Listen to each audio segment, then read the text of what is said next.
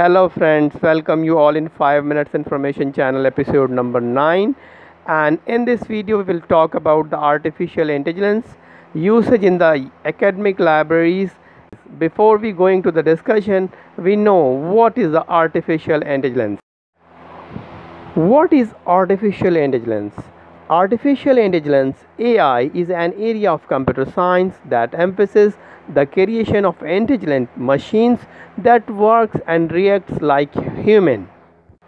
There are two core area of artificial intelligence which is known as machine learning and deep learning. In this episode we will not talk about the machine learning and the deep learning. We will talk about the overall artificial intelligence artificial intelligence in a Emerging technology used in the professional field like medicine, surgery, health sciences, automobile, engineering, climate, industries, economic, business, pharmaceutical and others. Artificial intelligence cover in the many area of the library, library services as well as the technical services. But today we will talk about the artificial intelligence tool which is used in the library the most popular tools which are used in the libraries in the context of information retrieval is known as a system experts number 2 natural language process. Number 3 pattern recognition. Number 4 robotics. Number 5 big data. And number 6 data mining. And many more areas of the library services like reference and cataloging. Artificial intelligence tools are being introduced in many modern and developed libraries.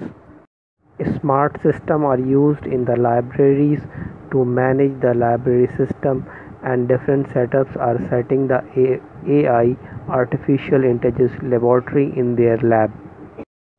Another tool which is used in the libraries in the context of information retrieval is known as a natural language processing which is include the translation of the Google Scholar in various language and processing of the uh, YouTube with the different languages and research item is being retrieved by the library user or the information user.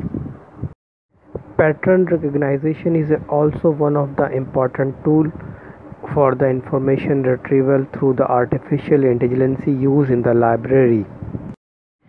Patterns to be classified usually groups of the measurement or observation, defining a points an appropriate multidimensional space. The component of the pattern recognized are the data acquisition, pre-processing, feature extraction, model selection, training and evolution. Robots are one of the important tool which is used for the information retrieval in the libraries. Robots are also help us for the library users to find out the material in the libraries. And some robots are also working for the library user reading and writing material. They also help the user and write and read for the specific library user on the specific topic of the library material and information from different websites. Big data is also one of the component which is used in the library very frequently it, it connect with the different library subject and knowledge management how to find the relevant material from different aspects of the knowledge domain. Another component of artificial intelligence which is used in a library for the use usage of the information retrieval is known as a data mining. Data mining is a just type of an indexing system which is the derived from the natural languages to identify the specific text from the large number of web text.